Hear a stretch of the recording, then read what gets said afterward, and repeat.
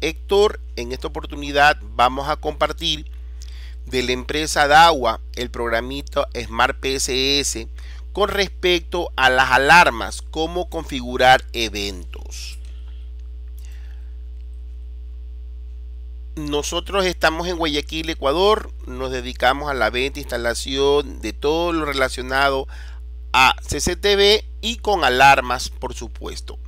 Les comparto mi número telefónico de mi WhatsApp si tiene alguna consulta duda y está en mi alcance.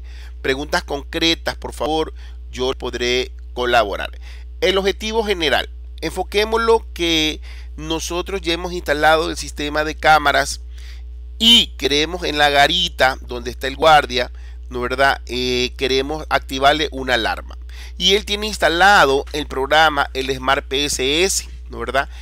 Pero queremos que cuando eh, exista un evento que la cámara detecte un movimiento en horas que no debe de haber personas, se me ejecute la alarma y me muestre el video de lo que está sucediendo. Eso es lo que vamos a hacer en forma general.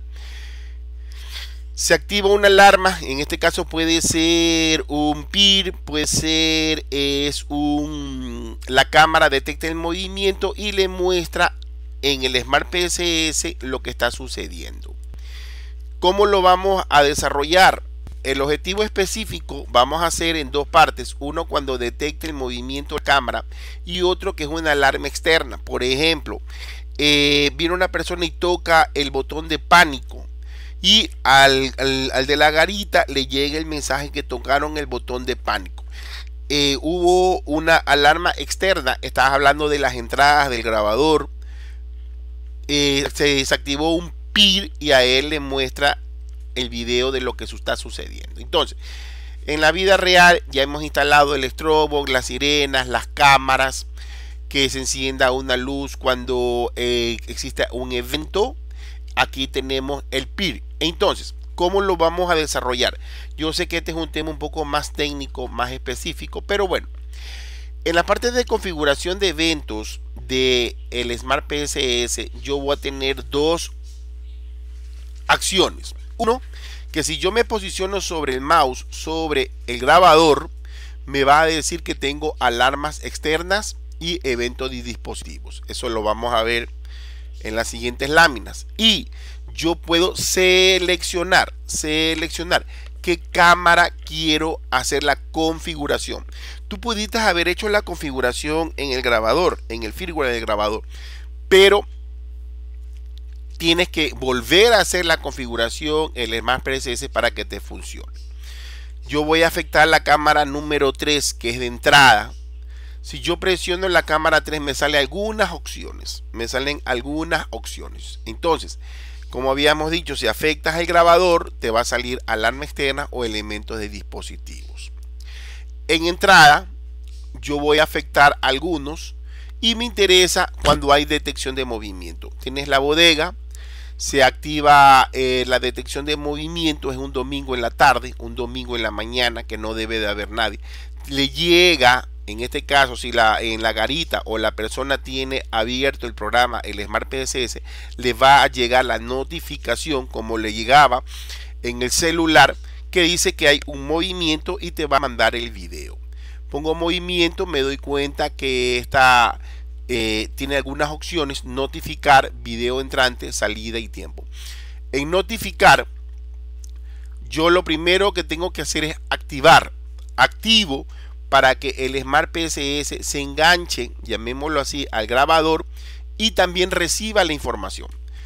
Voy a activar que es detección de movimiento, me va a salir un visto de color verde y voy a poder notificar sonido de alarma significa que eh, los parlantes me van a comenzar a sonar de la, de la computadora y se va a mostrar el evento.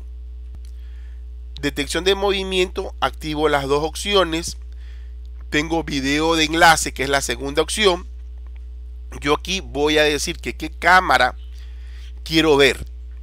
Supongamos que tuviera un PIR. Un PIR no tiene cámara, ¿no verdad? Pero puedes seleccionar cualquiera de las cámaras. En este caso, yo selecciono y arrastro. Arrastro puedes poner cuatro ventanas o seleccionas aquí y seleccionas una sola ventana. Aquí tengo, me dice la eh, casa Saiba, que es mi casa. Estoy cogiendo la opción entrada y tengo algunos parámetros. Algunos parámetros. Yo puedo decir que cuando me reproduzca, me reproduzca como video principal o secundario. Principal es de mejor calidad. Tengo la duración, que es 20 segundos, o yo puedo grabar también, es en el disco duro. Después que haya tu configuración, siempre lo tengo que poner guardar. Entonces, de esta forma yo pongo notificar. Recordemos simplemente notificar que me va a permitir es sonido de alarma que me suele, que yo en este caso el que está de, de guardia, ¿no verdad? Le suena a la computadora, le dice se activó una alarma, está dormido y le suena en pocas palabras. Tienes el video enlace que le va a mostrar la cámara que está relacionado porque estamos eh, enfocado en una o varias cámaras. Y salida de alarma yo le puedo decir en este caso si yo tengo sirena tengo strobo yo lo puedo también configurar. Significa que en la bodega se activó la alarma le llega el video y se activa la alarma en el lugar donde existe ¿no verdad? Donde el lugar y le pones el tiempo que te puede existir. Y el periodo, si quieres, es que esté funcionando la detección de movimiento todo el día o solamente partes del día. Recordemos que si eh, lo vas a dejar las cámaras activadas la noche, vas a tener muchas eh, alarmas falsas, ya que los LEDs van a encenderse y van a llegar los, los insectos voladores y te van a, a, eh, tener falsas alarmas. Le pones guardar, por eso que se utiliza el PIR. Y grabas.